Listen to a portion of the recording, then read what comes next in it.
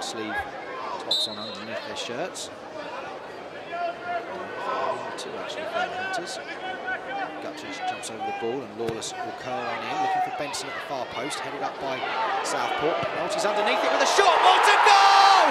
What a goal from Steve McNulty from full 30, 25, 30 yards out.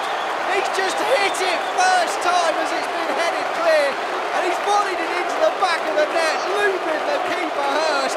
Steve McNulty take a bow. That's Tekka's son and he puts Luton in the lead in the 30th minute. It's Luton 1, Southport nil. McNulty, what a strike. Kenilworth Road erupts, he celebrates in style and he has every right to do so.